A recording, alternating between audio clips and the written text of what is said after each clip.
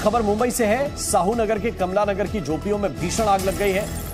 आग से 25 से ज़्यादा झोपड़ियों के जलने की खबर मिल रही है। फ़िलहाल फायर ब्रिगेड की 10 गाड़ियाँ मौके पर हैं 10 से ज़्यादा गाड़ियाँ मौके पर हैं और आग बुझाने की कोशिश जारी है। अब तक किसी के घायल होने की कोई खबर नहीं मिली है। बताया जा रहा है कि आग सुबह सुबह लगी है।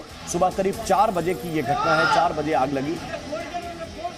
वाटर टावर वैन से आग बुझाने की कोशिश भी जारी है। रास्ता काफ़ी सकरा है और इसके चलते गाड़ियाँ सीधी घटना स्थल तक नहीं पहुँच पा रही हैं। और यही वजह है कि आग बुझाने में समय भी लग रहा है। तस्वीरें इस वक्त मुंबई की हैं। आग की चपेट में कई झोपड़ियाँ हैं। बताया जा रहा है कि 25 से ज़्यादा झोपड़ियाँ जल गई हैं आग की चपेट में आने से।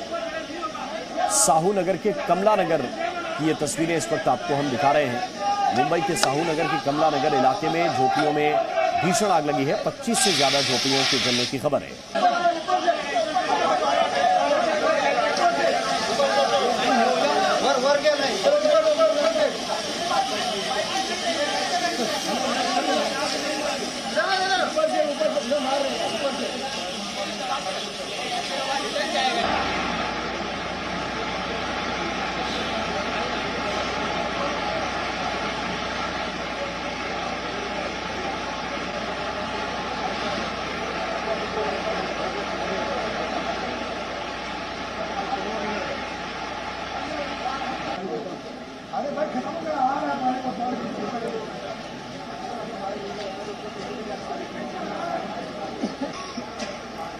ये तस्वीरें मुंबई की हैं। 25 से ज़्यादा झोपड़ियाँ जल गई हैं। लोग बेबस होकर इस दृश्य को देखने के लिए मजबूर हैं।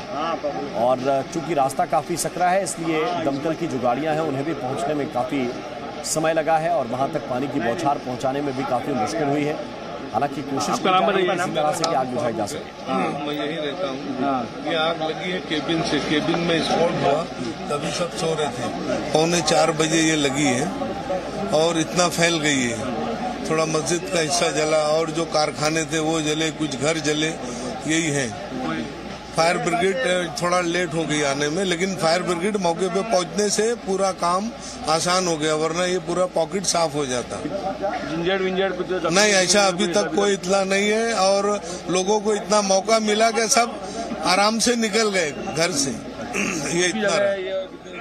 है? जी? ये कमला नगर जसमी मिल रोड है? सर ये कम से कम डेढ़